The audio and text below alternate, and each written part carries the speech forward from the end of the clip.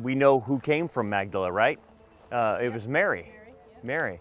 Now, what happens typically is they confuse Mary with the woman who uh, uh, came and washed the Lord's feet with her tears and w- wiped his, uh, her tears off with her hair. That's not Mary. That's, that's, that's don't confuse her because they want to put Mary in a situation where she, you know, she's a prostitute or something like that. That's that's another woman. Mary came from Magdalene, and what the scriptures say about Mary is that she had seven demons inside of her. And the Lord exorcised the demons out. Now, one of the things about the exorcism of demons is there was three messianic miracles that the rabbis said when you see these three messianic miracles then the messiah is here with us and again it wasn't they took some of it from you know the prophet isaiah and a few other things but really it was three things when the messiah comes he will be able to heal leprosy he will be able to heal blindness and he will be able to exorcise deaf and mute demons Okay? And those were the three signs. Now, Mary didn't have a, deaf and mute demon, but she did have demons. And let me explain to you why there was so much demonic activity happening uh, during the Gospels. And if you read in Revelation chapter 12, it says that it talks about the antagonism between Israel and Satan. Okay? And Satan, again, we talked about wants to destroy Israel. Well, John in Revelation rehearses the history of Israel with Satan and explains a few things.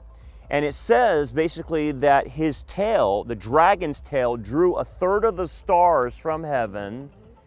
Um, and that is in concert in the context of, uh, of Revelation chapter 12 of when Satan saw that Jesus was on the ground, Messiah is on the ground, he took all of the third of the angels that fell with him and they all came here and so there was massive demonic possession, massive de- demon activity, massive fallen angel activity around the situation. And like she said, to go over there, we'll see Kursi where uh, the demoniac was. He had legions in him, okay? And he exorcises that. And anyway, casts them in, into pigs and they run off into the, the ocean, or sorry, the sea. But, but let's go back to Mary Magdalene. So he, he, he exorcises uh, the demons out of her. At that point, she becomes a, a, a follower of Jesus all the way through.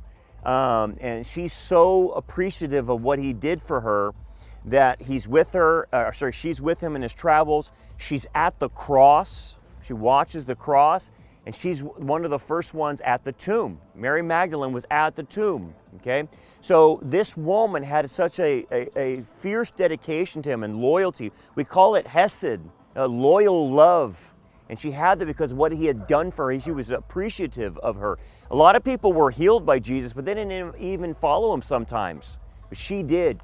And it's, it, there's, there's some church history about it that she possibly could have been a wealthy woman that was one of the uh, patrons for the ministry of, of the Lord because a lot of uh, itinerant preachers had patrons. And even Paul had a patron um, that was, she sold, uh, it was um, Lydia.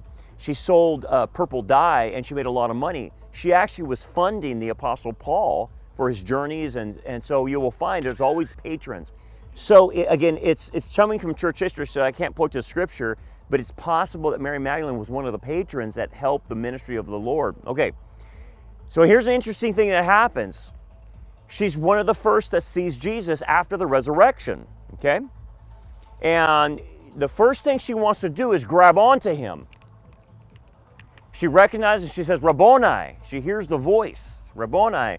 And he says, Stand back, don't touch me.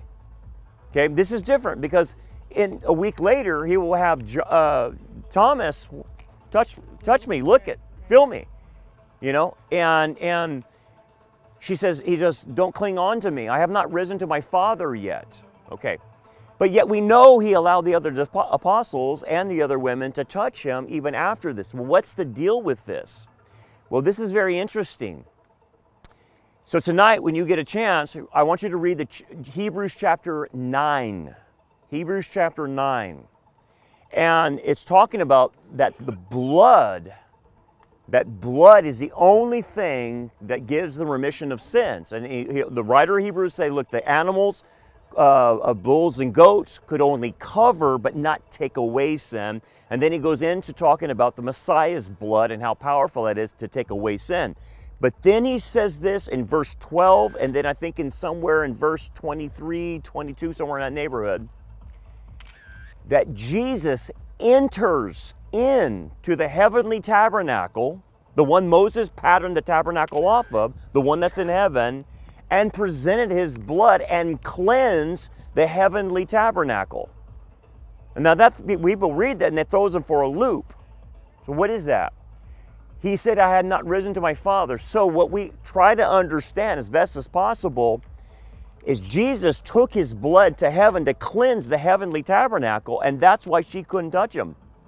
He had done that. Now we're not talking. Uh, we're the, the ascension was 40 days later, but he could go back and forth. And apparently, he went back, took his blood, and cleansed the heavenly tabernacle. So here's my question to you: Why did he have to cleanse the heavenly tabernacle?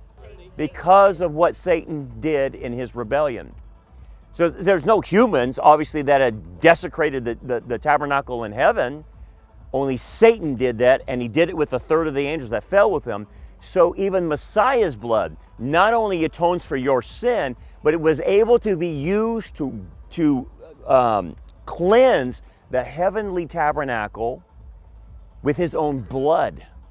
Okay, that, that, read, read Hebrews. If I'm lying, I'm dying. Okay? People don't hear this, but it's the only thing that makes sense of Hebrews chapter 9 where it says he took his blood to heaven. Okay, so then th- we assume that that's why he told Mary, Don't touch me now.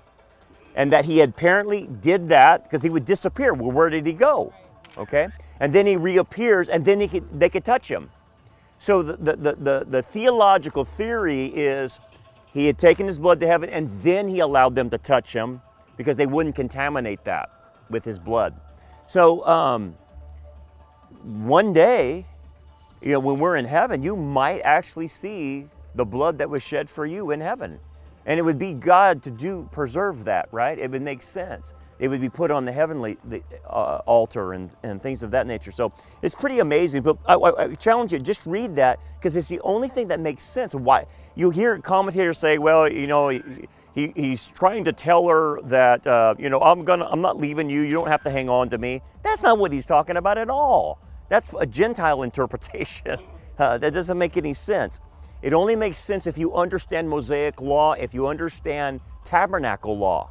Even in the millennial kingdom, there has to be blood sacrifice in the kingdom because sacrifice is necessary. Not in the kingdom age, it's not for redemption, it, the blood is for purification. Okay?